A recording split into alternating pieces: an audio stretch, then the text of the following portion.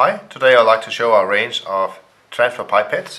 A transfer pipette is a liquid handling device. It is made in one piece, so it can't be wrong assembled. The polyethylene makes it very high chemical resistant. That also means very low leakage into the sample. We have it in many different, different designs. For all of our designs, uh, it counts that we have a defined tip, which give a defined droplet size. We have the standard ones without graduation, we have them also with a wide opening, if you have, a, for example, a viscous sample. We have them graduated for uh, more precise pipetting. We have them with a narrow tip, if you need very small drops, or if you have to load, for example, a gel, I have to go into another very narrow opening.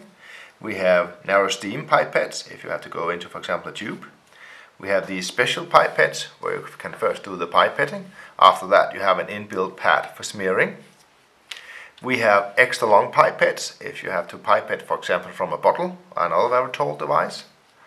Last but not least we have our exact volume uh, pipettes. They work in range from 20 microliters to 400 microliters and they work by this tube in the measuring device. You squeeze the upper bulb and then you can pipette the exact volume the tube defines.